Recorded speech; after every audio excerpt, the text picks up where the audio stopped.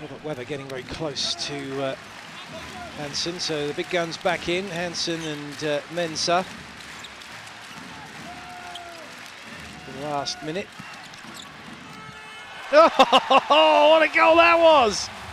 Massive amounts of spin from Hansen, sending that one out past the keeper and uh, almost going at 90 degrees back the other way, wasn't it? That was brilliant. Superb from Hansen.